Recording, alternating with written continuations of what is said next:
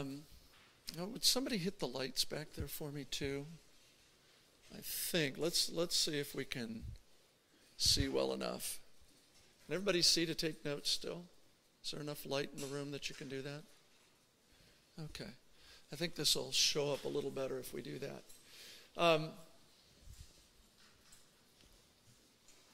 we talked about muscle tissue a bit at the beginning of the class in our introduction. And what we want to do now is just begin to work with um, the muscular system and its three muscle types. Muscle makes up an enormous amount of your human body. You know, the, there's, there's more muscle tissue than there really, really is anything else in your human body. And muscle is structured, if you remember a little bit, muscle is structured out of muscle cells. It's mostly a cellular tissue. Right? Muscle tissue, too, the other quality that you'd want to describe is the fact that muscle tissue is fibrous. Now, I want to be very careful with that term when I say muscle tissue is fibrous, because you don't want to think it's made up of a matrix of fibers like elastic fibers or collagen fibers. That's not what we're saying. A fiber has sort of the characteristic of being long and slender. And when we talk about muscle tissue, we're describing a tissue where the cells are fiber like. The, the cells are not these little, like cuboidal cells or squamous cells. They're not little um, cells like we saw in, say, epithelial tissues or even cartilage cells. Even in some of the connective tissues, you have like cartilage cells that may be you know, sort of small. These are cells that are quite long, basically, in relationship to their structure. And you would recognize um, this quality too in the fact that, um, or from the experience of your connecting with muscle. Think for a minute um, where you would encounter some muscle in your everyday life, right? Well, it would be meat. Meat is, is just animal muscle, isn't it? And if you've ever looked closely at a steak or a piece of chicken, you can see clearly that there are little threads in it. Or think of like shredded beef or shredded chicken, you know, if you get a burrito or something. The, the meat, when it gets all cooked and tenderized and it falls apart, it falls apart into these little threads. You may have even seen that in your cat. In your cat right? And dissecting the cat. Sometimes we dissect a little too vigorously and the muscle starts coming apart a little bit, and we can see all these threads in it. So muscle is, is very thread-like. You know, when you see muscles like this on a model or on a picture, you can see that there's a thread-like, a fiber-like nature to it. So you first want to get that that concept that we're not dealing with all these little tiny cells for the most part, although you'll see sometimes there might be, but there is this overall sort of thread like nature to muscle tissue. Now, as we learned in our introductory unit again, muscular system is composed of three types of muscle. There's skeletal, cardiac, and smooth types of muscle.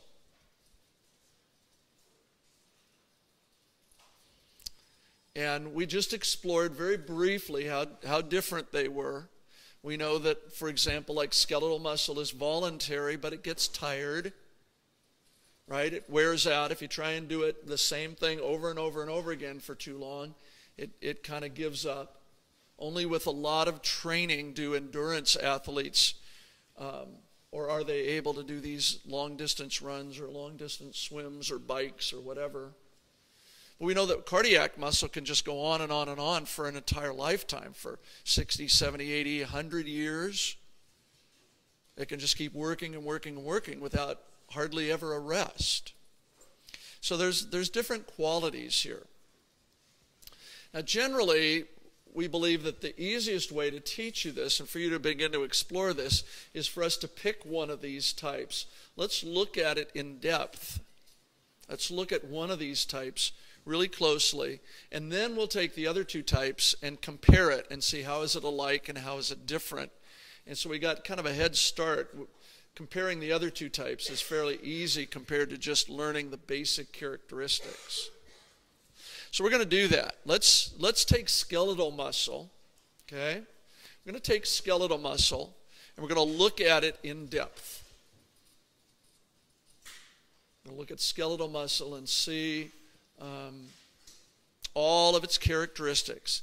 And these structural things that you're going to learn here are then going to apply right over to your physiology class. We're going to, we're going to hit the structure of this heavy. You're going to hit the function of it very heavy in your physiology class. And the student in physiology that's going to do well is a student that's taken the time to do it well here. Right? I'm giving you the foundation to be the A student in physiology. And everything, basically everything we do in here is going to be that very thing for you. Nothing in here is ever wasted. Nothing goes by the wayside. Everything that you learn here is making life better in your future. Well, you really want to push a little bit. Now, besides this handout that we're using, this outline, um, you're going to want a couple of other things right at your elbow. This picture right here is from your textbook. This is figure 9.3, chapter 9 in your textbook deals with the topic that we're dealing with here skeletal muscle. Uh, and you may not have this with you today. That's okay. Just write this down. And when you go to review this, when you go to look at your notes, you're going to want this picture nearby. This really is the best picture to summarize everything we're going to say. I'm going to kind of lead you right through this picture, basically.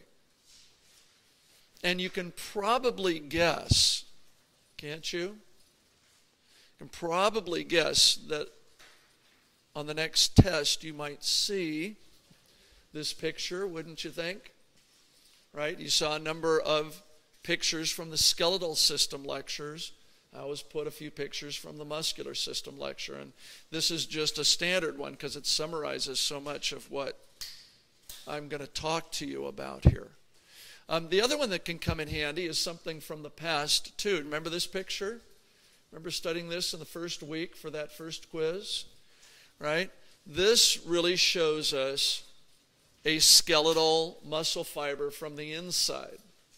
And I love this because, I mean, we've got a picture like this that's an artist rendition, but all the purples and yellows and blues and greens and stuff here are nice and helpful.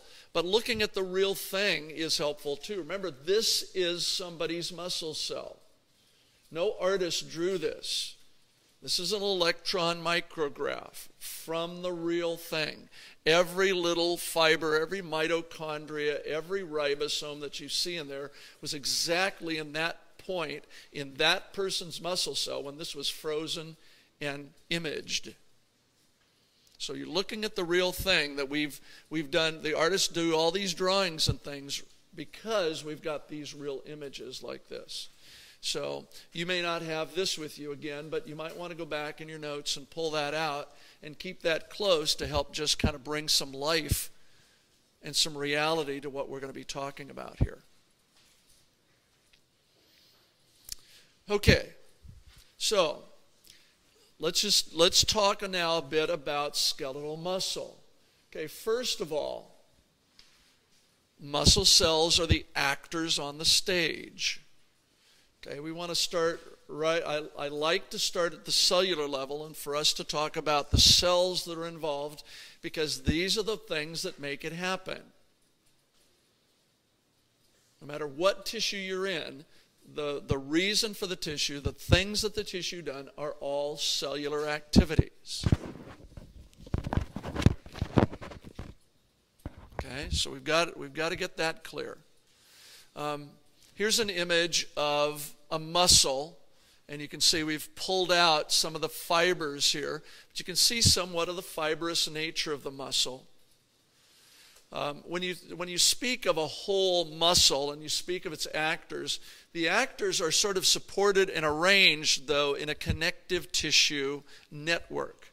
If you look all around the little muscles you see here, you see lots of white, don't you? And although the muscles are the actors here, there needs to be a support structure that keeps them together and gives some strength to the muscle some substance to the muscle, even when the muscle cells aren't doing anything. What if my muscle cells are relaxed? Does the muscle just fall apart? No, it doesn't, because woven in and through it are lots and lots of, of connective tissues. So, those collagen fibers that we've seen in tendons or ligaments or, or in sheets, you know, in the dermis of our skin, that connective tissue is in and through the muscle itself. Now, one of the things that sometimes trips students up too is the terminology that we use here. I've used the term muscle cell now a couple of times, but in reality, any textbook you go to that's describing skeletal muscle, okay, you will not see the word muscle cells, hardly at all because muscle cells, okay, are called muscle fibers. Um, if you look on your handout in the upper sort of right hand corner, right, I've printed this, haven't I? Muscle cells equal muscle fibers because I want to make, I want to get that embedded into your mind as you're reading paragraphs or looking through notes or whatever you want to be clear. When you see muscle fibers, you don't want to think like collagen or elastic or something like that. You want to think muscle cells. When I say muscle fibers do this or muscle fibers do that, you need to be thinking, oh, the muscle cells do that. Now, there is sort of a reason why we use the term muscle fibers instead of muscle cells. And part of that comes from the fact that early on, when this was, you know, first being discovered, the people that were looking at muscle tissue did not see cells because the fibers were so long and fiber like they weren't recognized like you look at epithelial tissue and you see all these little cuboidal cells or all these little squamous cells and you, you can see the cells and that's what brought researchers to understand that all living things are cellular in nature. We've got this underlying cell theory to all of biology. But when they looked under the microscope, they would see these things that were extremely long and more thread like. And so they didn't call these cells initially, they called them fibers. And so that term muscle fiber here has stuck in place of the term muscle cells. And it's, it's interesting to think, especially in the skeletal world, you'll see that the cardiac world and the smooth muscle world are a little bit different. But in the skeletal muscle world, muscle fibers are unusually long. Okay? How long are they? Well, let's use an everyday example for this. Okay? What if our muscle fiber, this microscopic little muscle cell, this muscle fiber, since it's a fiber, what if the, the width of the fiber was as big as a football? Okay, you all know about how big a football is. So if I had a muscle fiber that was about that big around, how long would the muscle fiber be? Okay its length would be over three football fields long. Okay? Now just think of an object sitting on the football field here that's as big around as the football, but it's as long as three and a half football fields. Okay? The typical cell, the typical epithelial cell, is the size of the football itself. Right? The typical fibroblast or osteoblast or osteocyte is the size of the football. Now here comes a cell that's three football fields long by that standard. Okay? It's, it's just incredibly, incredibly long. Okay? And this is a cell. One single cell membrane. You know, all of the cell structures inside, all of that, but unusually long. Okay, so we're, we're talking about sort of a different kind of cell structure here. Now, how does a cell get that long? Do I have this little cell that all of a sudden can grow that many times bigger? No, I don't. What happens is that very early in human development, while you're still in the womb, little tiny cells come along that are the precursors to these long muscle fibers. And the long ones result from the fusion of many small ones. So just kind of picture many little muscle cells all kind of lining up, right, within muscle tissue. Okay? So you got many, many, many little cells within the muscle tissue. And then picture at some point that they start fusing their cell membranes together.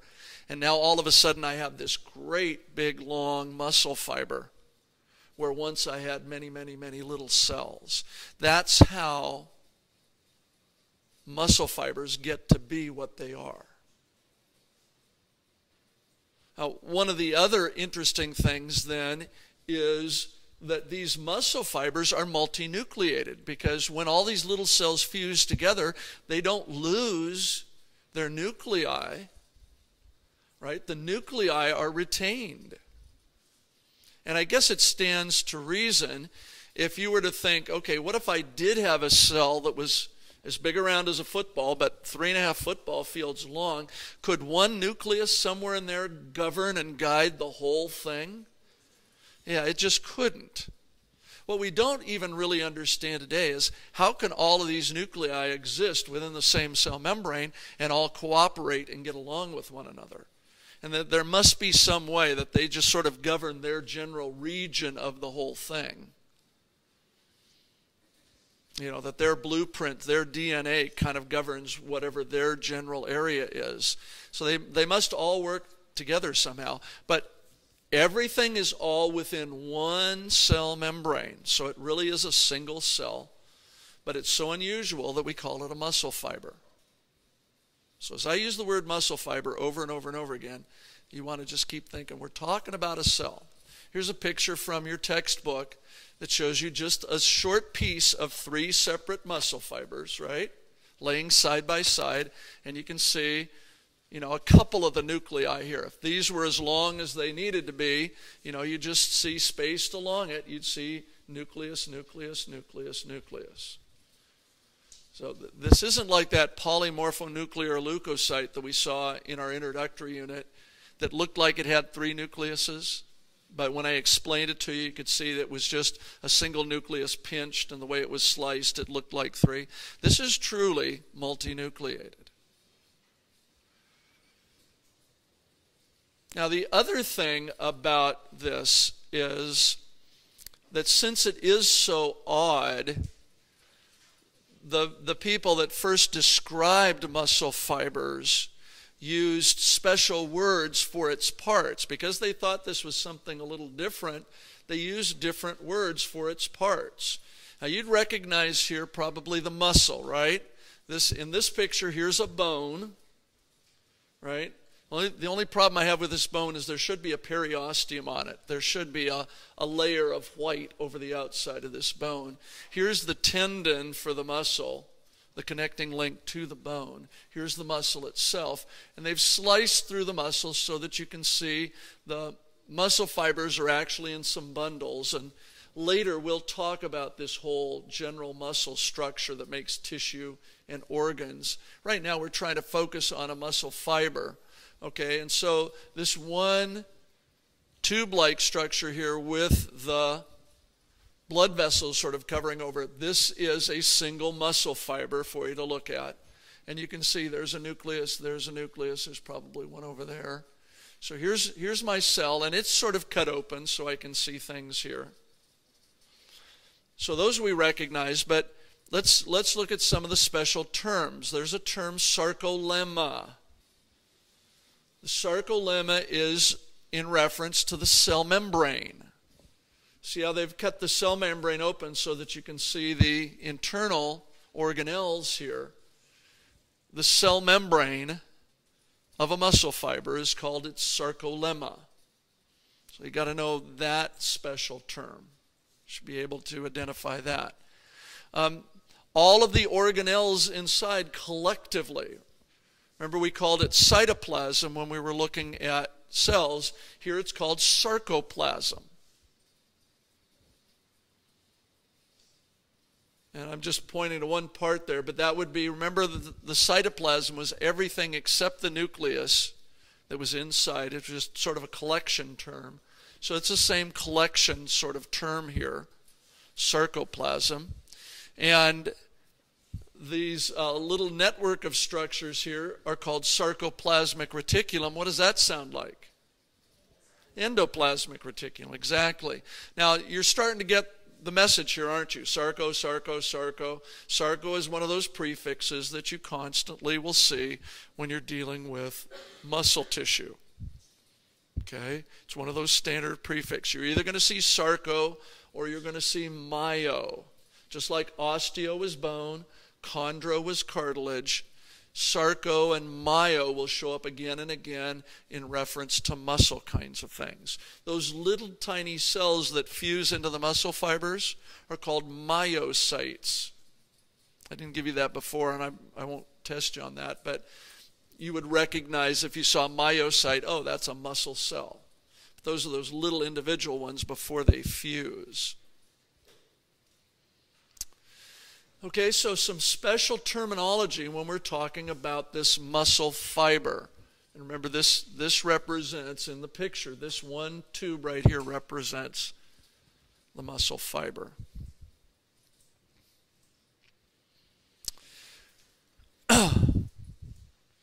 so, just uh, summarizing a bit, right? Muscles are composed of muscle fibers with connective tissues in and around them to hold them together.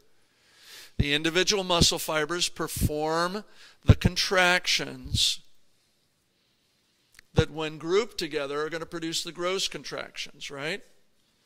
So when I when I think of grabbing something and having enough force to do something, it's really all of these muscle fibers working together. Each muscle fiber, you know, when I describe it as the size of a football and that all of that, you know, we're talking still a microscopic. A muscle fiber is microscopic. You can't see it. Although actually it's long enough to be seen if it was just wide enough to be seen. Right? Being unusually long, they can be up to a foot long, but they're still microscopic in width. So if there was one laying on the table, you couldn't see it.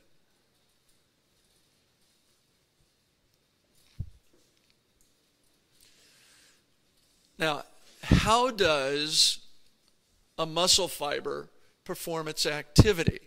Well, obviously, it's going to be something internal to the muscle fiber.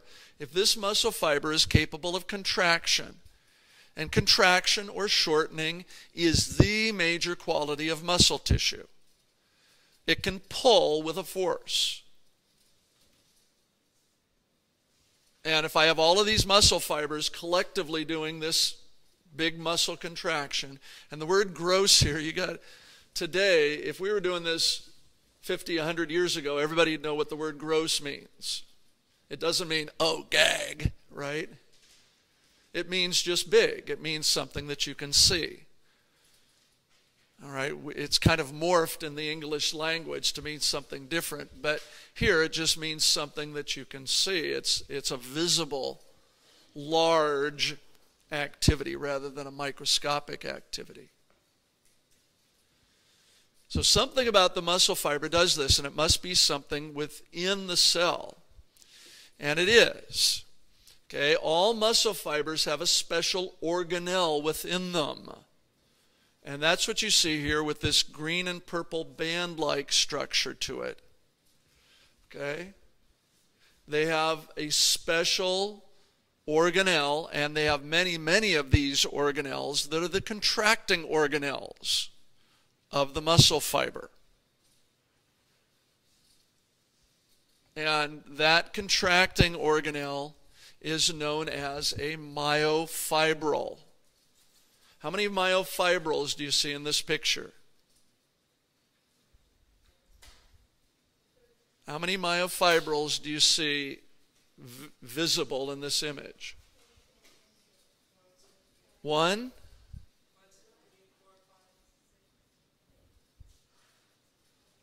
How many? I hear some fives. Do you see five? One, two, three, four, five. Each of these is cut short. This one extends out so that you can see it. Every myofibril is a long tube like structure that's found within the sarcoplasm of the cell. Okay, so the muscle fiber is full of myofibrils. Okay, as much as 80% of the sarcoplasm of the muscle fiber, the typical muscle fiber, is myofibrils because that's what the cell is here for, right? It's here for contracting, so it builds and maintains its myofibrils. Right? These didn't come from the store. Remember, every, let's go back to our introduction. Remember, every Everything within a muscle fiber was built by that cell, which is the same as every ribosome, every mitochondria, every bit of structure in any cell was produced by that cell. This cell just happens to tap into that part of the genetic code that tells it to build myofibrils within itself. And so we're coming right down to the structure here. The myofibrils are the contracting units of the muscle fiber, right? They are what make things happen.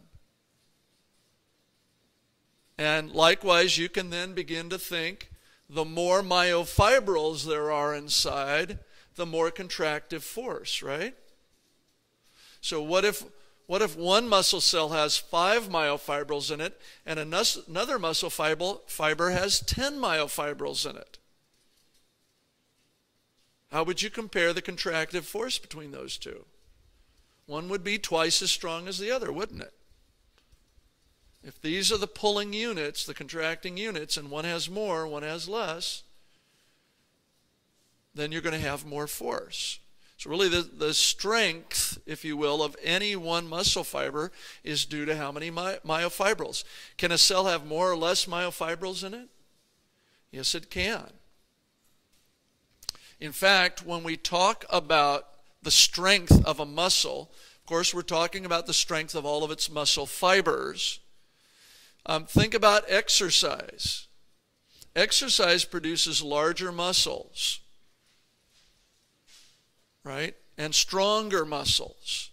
But it doesn't do that by increasing how many muscle fibers there are in the muscle.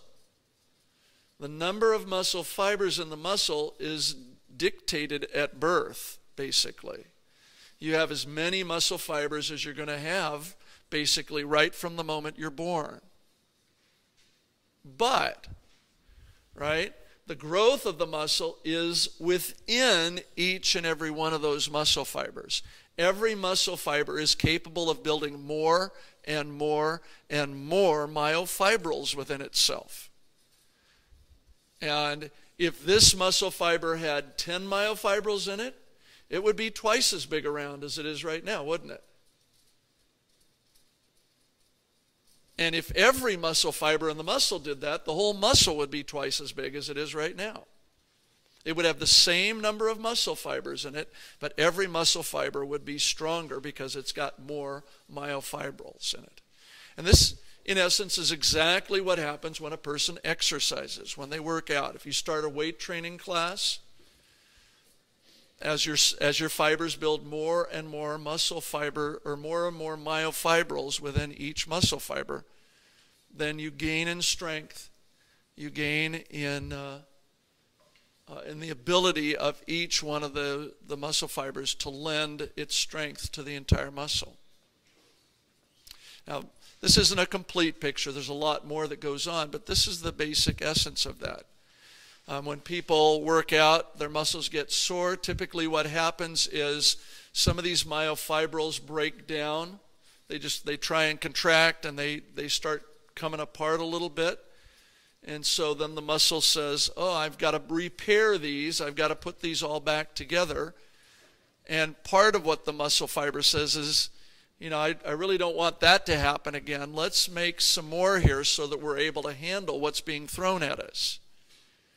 And your entire human body does this. Your body adapts to the stresses you put on it. You learned that in the last unit. Bones get stronger when you work them. The more exercise you do, the more dense your bones become. Well, likewise, the stronger your muscles become because as you throw more effort at them, they respond by building more myofibrils to handle what you're throwing at them. Strength. You know, it's, it's like this class. I mean, you can look at it in every aspect bones, muscles. How about nerve tissue? You get smarter, you get more capable intelligently, not by doing the same things you do every day, but by taking a mental challenge, by taking a class like this. By, by reading things that are interesting and that are beyond where you are now and your brain grows and you learn more. And the more you learn, the more you can learn. But it's, it's certainly true here. If you push the muscle fibers to do more than they're capable of, they will respond by making themselves more capable, by building more myofibrils. Okay? And that's and that's where more muscular strength comes from. Now, let's look at this picture that hopefully you remember from early on. And at first, when we were looking at this, okay, we didn't talk about all of these thread like things that you see here. We were interested in identifying mitochondria, nucleus, nucleolus, cell membrane, ribosomes, smooth and rough endoplasmic reticulum. We were trying to identify all the parts of the cell, and we just ignored a lot of the rest of this. But now it's time to look at the rest of this here. Here are the myofibrils. Now, remember, a myofibril is a circular structure, isn't it? Right? And here we just have a slice lengthwise through a muscle fiber. So we don't really see the roundness of this looks sort of rectangular here. But try to picture the each one of these things here as a tube-like structure. Okay? Let's let's highlight a couple of these, okay? So there's two out of the four and a half, five. And these muscle fibers, or these myofibrils here, aren't short. They're just kind of going behind some of this other structure. So it looks like things are coming in and out, but they're not. They're just some of the other organelles are covering over them or behind them or whatever. But you can still see three and a half, three, you know, three and several parts of the myofibrils in this one image. Okay? You want to picture them, you know, circularly. Now, as you look at any one mus- myofibril here, okay, what you see is some vertical lines here, don't you? See these dark black lines? We have a name for those. They're an essential part of this skeletal muscle structure. And they kind of divide up the entire myofibril into pieces, don't they? If you look at those black lines, if you think this whole thing is a myofibril, and you look at it closely, you see a very repetitious structure within the myofibril, don't you? Right? And it's divided by these black lines. And so this is just one of those units then within the myofibril. The myofibril is nothing more than many, many of these units. Just look at them. See, there's one there, one there. Here's the next one, right? There's one there. There's one here. So I'm coming down to the contracting. I'm trying to get to the contracting structure. So I've got a myofibril, but it's divided into these individual pieces. It's divided into pieces here. And what we want to do is we want to focus on one of these. The little boundaries that are here, or before I get to that, I'm trying to get to that, but I'm not getting there. Um, what we want to do is identify one of these pieces right here, like we've done right there. Okay? And that is called the sarcomere of the myofibril. Okay, so there's, there's that little prefix sarco again. Okay, this one unit of the entire myofibril is called the sarcomere.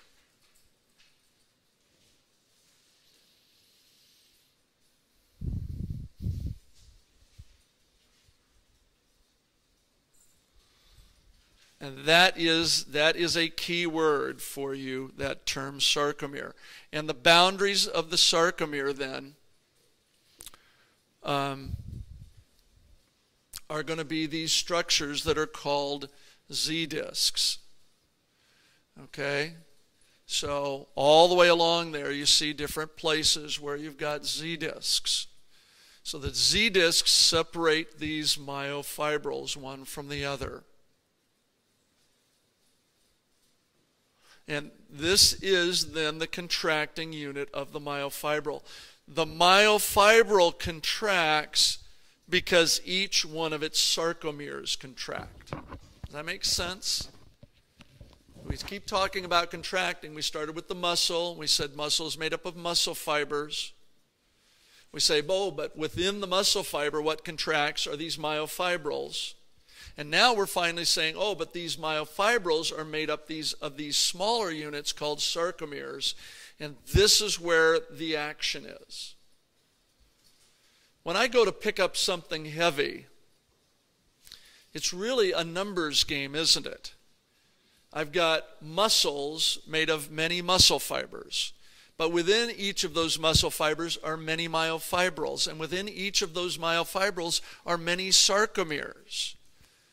And it's the contraction of millions and millions of sarcomeres that is really the ultimate contraction of the entire muscle. So, within the cellular structure of this muscle fiber, we've brought the entire contraction down to this one structural piece of it, one portion of an entire myofibril.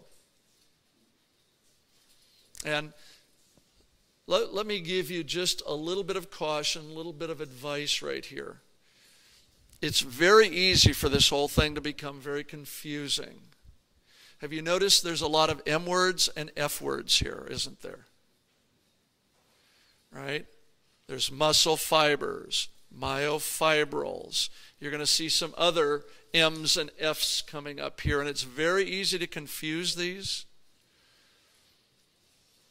My best study tip to everyone is always to rewrite your notes on the same day that you take them. Don't let a day go by. If you take notes in a class like you're taking now, if you don't look at these until tomorrow or the next day, right, there's going to be a lot of confusion in your mind. If you look at these notes again today and you write them into nice, neat outlines, you're going to you're going to pick up twice as much from this. You're going to retain twice as much as you do if you put it off to some other day. Many people are in the habit, oh, they take good notes in class, but if they look like mine, they're just kind of bits and pieces are all over the place. If you'll rewrite those notes the same day before you go to bed, it doesn't, you know, if it's right after the class or if it's in the evening or whatever, if you will rewrite those before you go to sleep, you will make better notes and you will retain two or three or four times as much as you would otherwise. And I know for me, I went from being an okay student to a great student when I did that one thing. But it's, it's nowhere more true than here. This whole thing with all of these tube like structures and all of these M words and F words and all of that, it's just easy for this to get very confusing very quickly. I'm hoping that you'll come out of this lecture really understanding this, or at least coming very close to understanding it. But if you let it go till some other day, it's going to get much more muddled and much more confusing. Okay, so let's do this. Let's take one sarcomere now and let's look at one sarcomere, okay? Can we do that? Let's focus right here now on what's going on within this. Okay, this is the contracting unit. Now, remember the, the picture that I'm showing you right here. This is the real thing. This is real life. These, this is the sarcomere of some living human being or somebody that once lived. Every little bit of structure that you see here was right there when this thing was frozen. Now, what I see between these two Z disks then is a bunch of threads, don't I? You see that? There's a bunch of threads here. And these threads are responsible for the contraction. We call these threads myofilaments. Okay, another M word, F word, right? We call these myofilaments. And you'll see that there are two types of myofilaments here. Let me kind of show those to you. Um, let's focus on one at a time. If we look at our Z disks here, and remember, I'm, these look like lines, and some books will call these Z lines because we're looking at a two dimensional picture. But you want to think the myofibril is circular, right? So a wall that goes completely through a circular structure is going to be a disc shape, isn't it? Like a coin. Wouldn't it? You know, look at the end if you've got a can. A can is a cylinder, right? If you look at one end of the can, it's a disc. So these, these are Z discs. Look first at the threads that are attached to the Z disc, right? From both Z discs, there are threads extending out, not quite all the way to the center, but quite a ways out. Those are called actin myofilaments. And they're called that because the protein that makes them up is actin. Sometimes they're called the thin myofilaments because you can see they're a little bit thinner than the other thread that I see here. And these ones that hover sort of here in the middle, they don't have an attachment to the Z disc. These ones that sort of hover in the middle that are thicker are called myosin myofilaments myosin myofilaments or thick myofilaments. And it's the interaction of these two things, these myosins and actins, it's their interaction that creates the cellular contraction. So it's, it's not real tough. I got these Z discs and I've got these two kinds of threads, and it's their interaction. And you can see they're all geometrically you know, arranged in there. You want to know the actin myofilaments and pick them out. You want to pick out the myosin myofilaments. Let's, um, let's do that with part of this picture. See, we've got this picture with the muscle fiber here and the myofibril coming out. And then see how they've taken a bit of the myofibril and they've diagrammatically shown us the sarcomere here. Can you see this? Here, let's, let's just isolate that one part of the picture right here. Okay? So here is the artist's rendition of the sarcomere. Now, basically, you want to think that there are five structural components of this sarcomere. If you can pick out five structural objects in this picture, then you've got the basic parts that you need to know. Now, three of them here you already know, don't you? Okay, do you know where the Z disc is in this picture? What color is the Z disc? Yeah, it's blue. Okay, the Z disc is this sort of zigzag blue structure in the picture. It looks much more formidable in the electron micrograph. Okay? But it's, you know, it they represent it here as this this blue line there. You know the actin myofilament, right? They're the purple ones. The actins are attached to, directly attached to the Z discs, aren't they? And see how one sarcomere is really attached to the next sarcomere, isn't it? Because the actins of one are linked to the actins of the other by way of the Z disc, right? So there's not a separate Z disc for one sarcomere and another Z disc for another. They share Z discs and their actins are likewise linked in. The green picture here is what? What is it? Right. This is the myosin myofilament. Okay, is the green one. And it just seems to hover here in the center.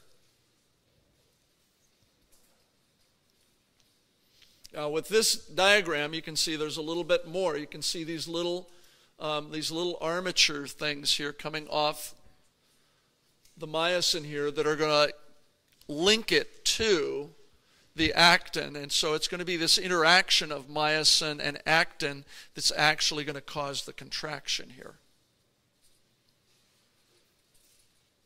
There's two other elements here that you should be able to identify. Now, one of these is just recent.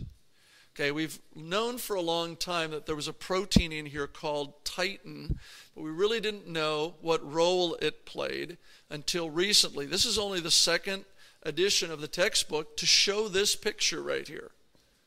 Right? This sort of gray little structure here that you can see running through is called the titin filament. Let me call your attention to this. This is not a myofilament, this is just simply a filament.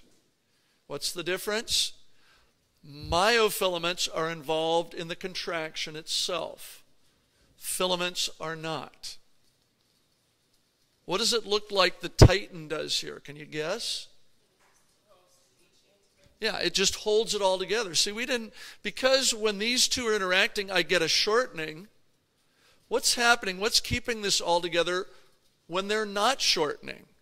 When myosin and actin are not connected to each other, when they're not contracting, what holds this all together? Well, it's this titin filament that links one Z disc to the other. And notice they've they've drawn it so that it's kind of elastic. See how it's spring-like? So I can actually stretch a muscle, can't I? And yet it doesn't come apart. So it's not like the sarcomere is fixed. I can actually stretch the sarcomere wider and it'll spring back.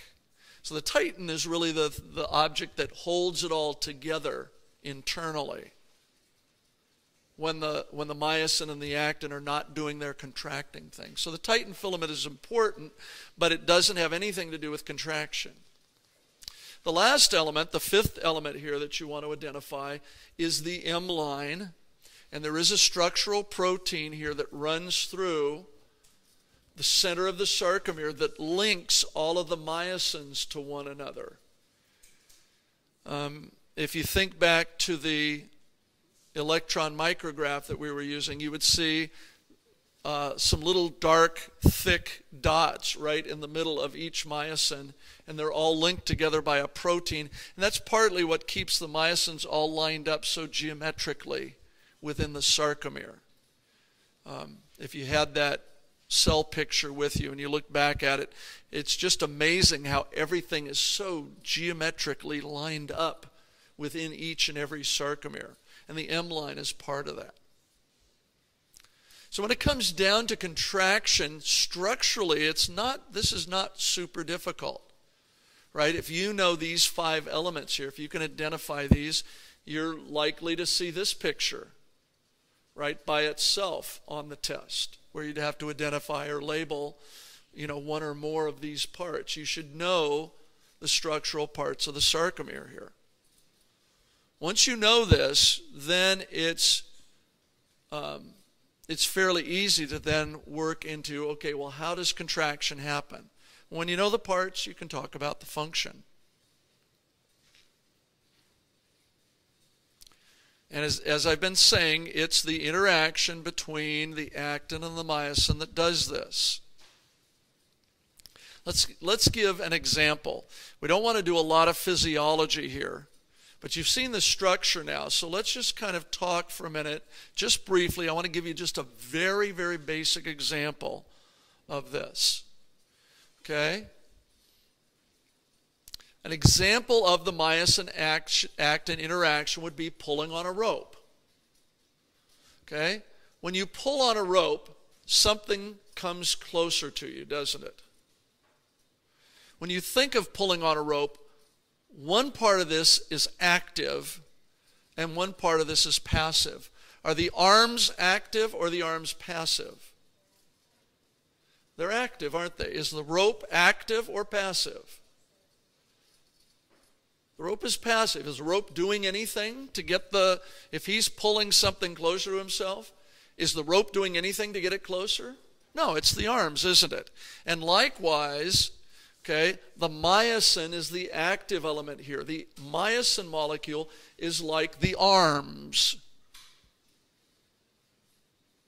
Right? And the rope then, okay, the rope or actin is like or the actin is like the rope. It's not really doing anything, but it's there for the myosin to grab onto and pull.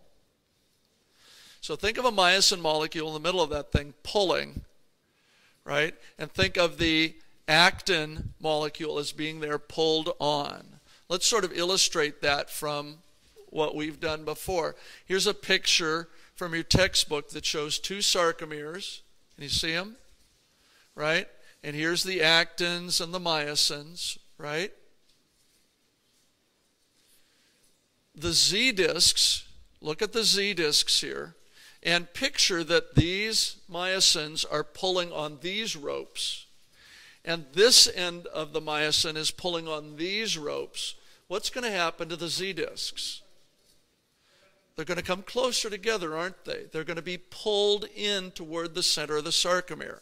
Now just watch how this happens, right? See how they're being pulled? Right? Closer. Close. Okay, so what was once this long is now this long. Right? The Myosins have come very close to the Z discs now.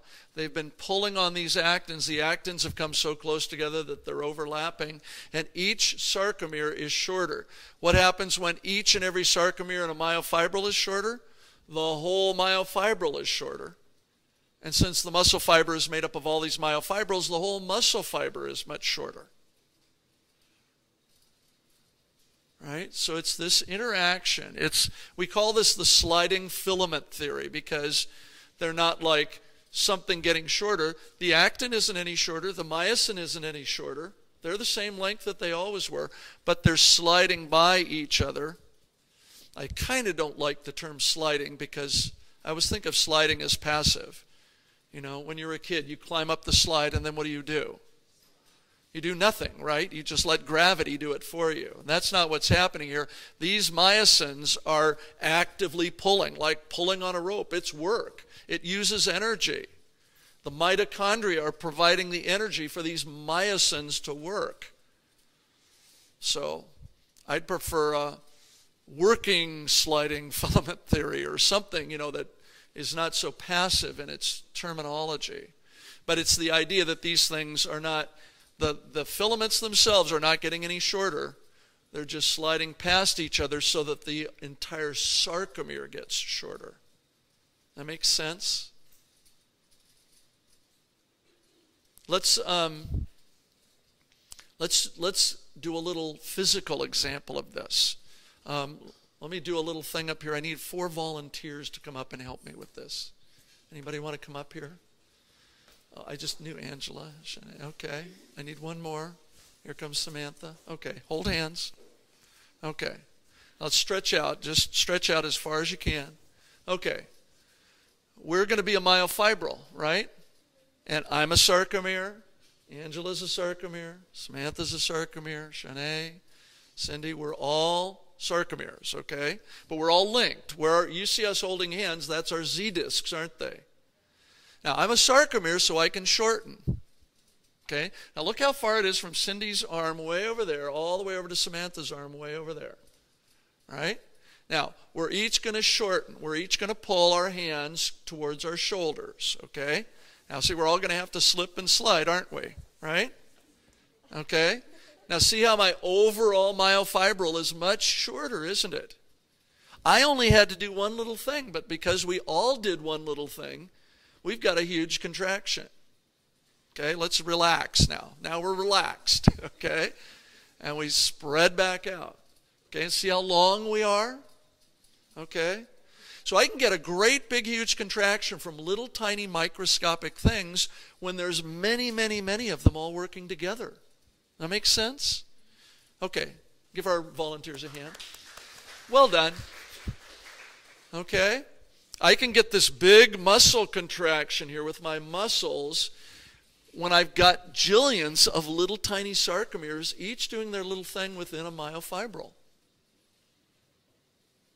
Okay, and that's that's the basis. Now when you get to physiology, you're going to be learning how does the ATP get, you know, generated by the mitochondria? And how does it get in here? And what does ATP do to the myosin to give it the ability to work and all of that? And you're going to learn about these little parts that are coming out of the myosin here. They're called cross bridges, and how do they attach to the actin? And you're going to go much more in depth. But if you'll take this foundation with you, you'll be way ahead of any other student that's come in from somewhere else and maybe didn't get all of this. Okay, you're really going to know your stuff. So you, want to you want to work with this and work with this again today, please. I can't emphasize that enough. You've got to go over this again. Um, you should, within a day or so, be able to see this whole presentation online, too, if you want to go on Blackboard. Um, this should be online for you to see if you want to go through it again. Okay, so let's, let's just kind of get to a summary place here. Oh, why did that disappear? That wasn't supposed to disappear. Okay, sorry about that. I, I wanted to show you.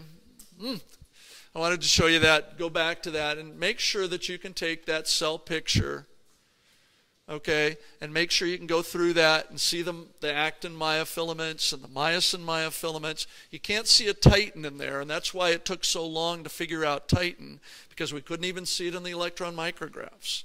You can see the Z discs, you can see actin, you can see myosin, you can see where the M line is, but you can't see the titin because it's so small. But, but that just really lays out the whole cellular structure for you. And then, of course, this image from your textbook really summarizes it all. You don't have to do anything with the muscle here yet. This will be part of next week's lecture. We'll be getting to this right here. But what you want to focus on can you pick out the muscle fiber? Can you pick out its various parts? Can you then focus on the myofibrils and the sarcomeres? Make sure you think too, what is a contracting unit for what? Okay, for example, let me just walk you through this, right? The sarcomere is the contracting unit of the myofibril. This thing contracts because it's got all these little units within it. But then this myofibril would be the contracting unit for the muscle fiber, right? Because it's many, many of these myofibrils that are the units within the muscle fiber. And then the muscle fibers are the contracting units of the muscle itself. Right? And can you see how I might ask that? I might say, what are the contracting units of the muscle fiber? You'd tell me it's the myofibrils. What are the contracting units of the myofibrils? Oh, the sarcomeres. Right? See, the, you can probably see here another point of confusion too for the student that hasn't really looked at this. See how everything here is tubular? It's a tube inside a tube inside a tube inside a muscle. It's so easy if you don't really know this to get confused about which tube you're at. You could be thinking, oh, this is the myofibril inside the muscle fiber. It's easy to get lost here with all the M words and F words and all the tube like. Everything is tubes inside of tubes inside of tubes. So please take some time to get this right in your mind. And then just start reviewing it Learn more and more elements as you go along, but you want to sort of cement it into your mind today if you can. Get that foundation in your brain so that you can keep learning this. It won't happen if you look at it tomorrow or Sunday or Monday or that. Okay? Any any last questions here? Let me see if there's anything else we need to ask or talk about. Got that? Okay. Good deal. Thanks for